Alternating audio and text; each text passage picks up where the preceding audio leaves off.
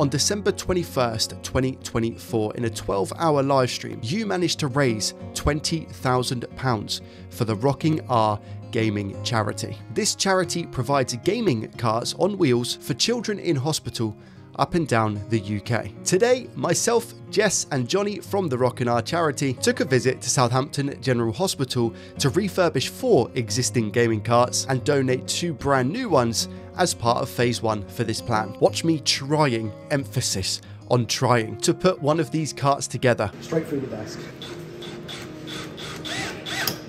as well as find out exactly how much your donations to this charity directly makes an impact on children's lives.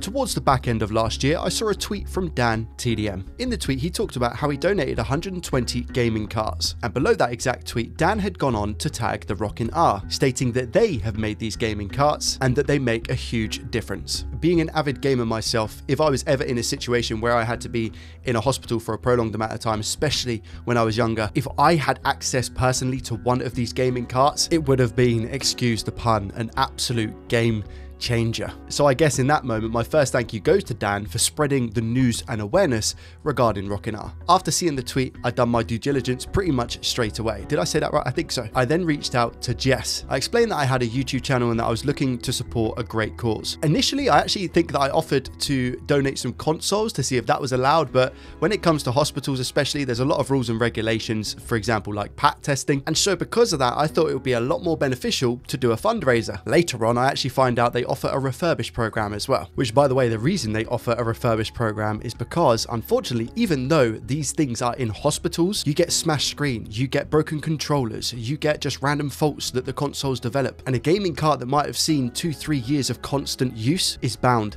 to have some issues. So unfortunately, it's not as simple as just putting in a game cart and leaving it. There is a lot of maintenance. Then the live stream happened where we raised the funds, and ever since that period, I've been in contact with both Jess and Johnny. A few months had then passed, but we had a plan to go in to Southampton General Hospital and get these gaming carts A, refurbished, and B, the new ones set up. There is an extremely unfortunate situation as to why the Rockin' R gaming charity was formed. If you do want to read more about this story, I'll leave it as the first link down below in the description box.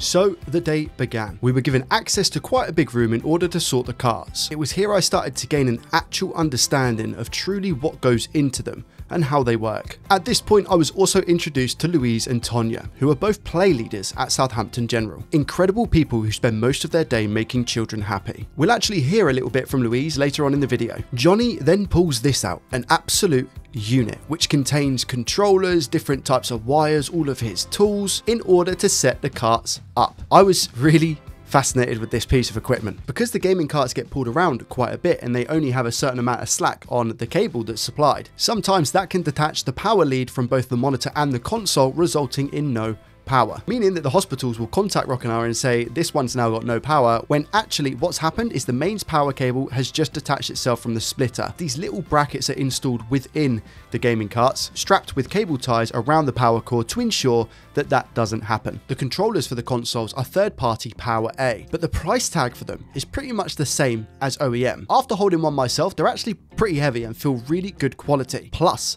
they light up. Internally, the controller wires are then zip tied to the unit. This is again to ensure that there's no snagging on those cables. If there did happen to be any resistance on the cable pulling, you'd much rather the USB-C cable come out of the controller where it is detachable, rather than having a chance of breaking the USB ports on the console itself. Rockin' R were kind enough to use the JDT community logo mixed in with the Rockin' R to put onto the gaming carts. How cool do these look? The Nintendo Switches come with a 256GB SD card, where all of the games are then downloaded from the internet. This was previously a 128GB SD card, but times have moved on. Same story with the Xbox Series S's is that they're now all 1TB instead of 512GB. The reason Rockin' R go with a Series S and a Nintendo Switch is because typically they're smaller, modern games consoles, whereas you think an Xbox Series X or a PlayStation 5 will unfortunately not fit in the carts, and they're a lot more expensive. So after a lovely jubbly chin wag and a bit of a tidy up, it was time to move the gaming carts onto the empty ward. And it was time for your boy to build one himself. This is where my handyman skills. I get embarrassed. No, it's fine. I needed to unscrew a bracket on the side of the carts, which allowed you to plug in an Ethernet cable to the console. Inside the carts, they've got like an extension cable for that. There was a lot of complaints from the hospitals that the Wi-Fi wasn't great, so Rockin' R said, Do you know what, we're gonna go hard cable as backup. And you best know that I even struggle with that. hey, look at me. There we go. We've done our first. Oh, I see. Okay.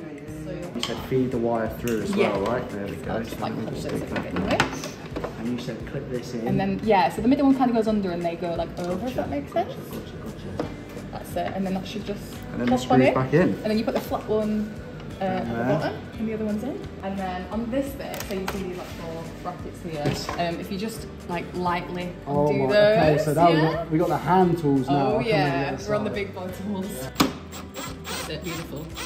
That's enough. Yeah. Oh, okay. Just Not loosen it, not take yeah. away out. Sorry. That's it. No, you're fine. You can't break it. It's all good. Perfect. Is that enough? Beautiful. Yeah. So all it is is we just put tie wraps here to like keep the, the cables tidy. Okay, fine. Yeah, yeah. Um, This little device is a right-angled power connector. Never seen it before, but really cool. So you can obviously get a snug fit on the Series S. I'm gonna say, do you feel confident drawing some holes? Uh, Or do you want me to draw the holes? no, I can do it. Do you know what? You can I'm do up, it. I'm the challenge. Straight through the desk.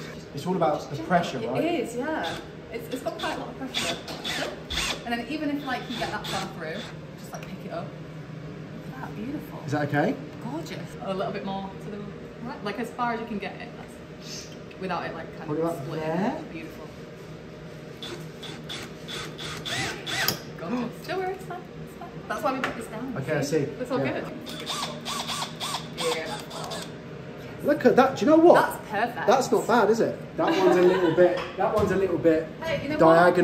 Diagonal. But do you know what? It's handmade, Joey. Exactly, It's and that's what counts. Like they were manufactured. There we go. Yeah, exactly. I've got you. Gorge. Look at And then that. tie, tie it up just so you got like a big loop. There we go. Oh, good. Crush. I'm giving you the best angles here, am I? Cool. Gorgeous. All How's that? Yeah, you can do the fun part. You sure? Yeah. You give me the honour. Right there. Gorgeous. And How's then that? same with the back. Yeah. I bet this is a real like unflattering angle here. I bet it's horrendous. Oh god. There we go. All right. We've done it. So next thing. So this plate, we're Yeah. gonna get Okay. basic stuff. We've got this. This Okay. is the sticking. Okay. okay. We've done the sharp tools. we've More done the so tools. my thing. I still don't think I'm going to be competent enough for this, but we'll give it a go. We'll give it a go.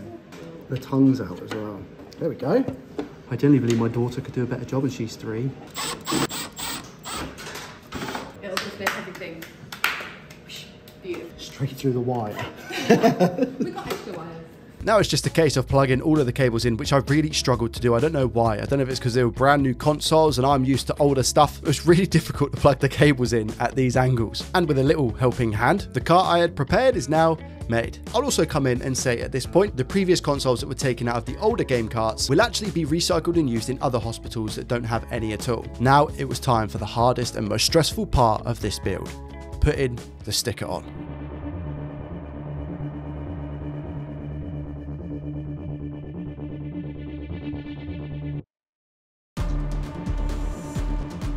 Now that that super stressful part is done, let's hear from the lovely Louise. I hosted the 12 hour live stream of just fixing random electronics.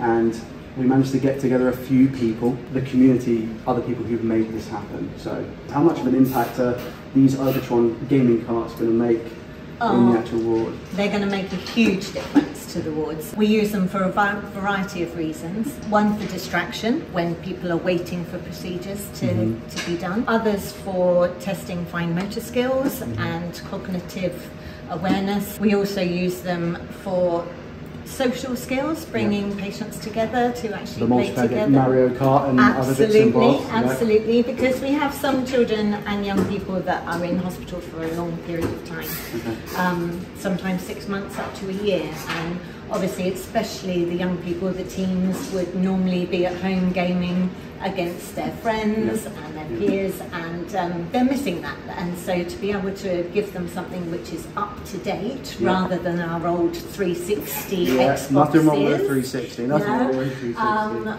and very bad Wi-Fi here in the hospital Yeah, as well. That actually having the games pre-downloaded, so we don't have to worry about the Mm-hmm. Wi-Fi, um, is excellent. And having all the up-to-date games. It's actually a pleasure to be able to give them out and the, and the teenagers actually think we're a little bit more with it and a bit Yeah, more yeah. more up to date really Yeah. when we offer these. Is there a fan favourite game? Do you think that you see a lot a lot of people play? or Um, definitely FIFA. definitely FIFA. FIFA aren't is like yeah, FIFA is one of and Minecraft is Okay. is a big hit, um, and the driving games as well. I would like to say on behalf of the play team here and all of Southampton Children's Hospital and the children and young people that benefit from these. A huge thank you to you for putting the event on and for all the supporters that have backed you with them because the difference these are going to make is going to be huge, um, especially to the young teenage age group. Um, obviously, there are games for all the age groups, but the hospital isn't very geared up for their particular needs, and Yes. they are growing up in a really techie world, Yeah. and so these are a huge asset to us and will be used constantly every day. So a huge thank you to you and to everybody who has helped to fund them. More than welcome. Thank you. This is phase one. Only under half the budget that we raised went into this project. I'm super interested to see what happens next. This is something that was quite new to me as well, but I really thoroughly enjoyed it. The Rockin' R has managed to create over 500 gaming carts and place them in over 100 different hospitals around the UK. A massive shout out to Johnny, Jess, Louise, Tonya, and cameraman for making this day very, very special to me. Most importantly, thank you to every single person who donated on that live stream. You have made a difference to these children's lives. Thank you. If you're personally wanting to contribute anything more to the Rockin' R, I'll leave a donation link down below in the description. Thank you for watching.